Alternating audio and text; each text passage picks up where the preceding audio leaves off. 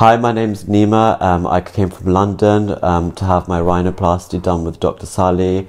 Um, I was very nervous before I had this operation done, but everyone involved gave me such good care and service. I'm extremely happy with my result, and I would recommend Dr. Salih to everyone.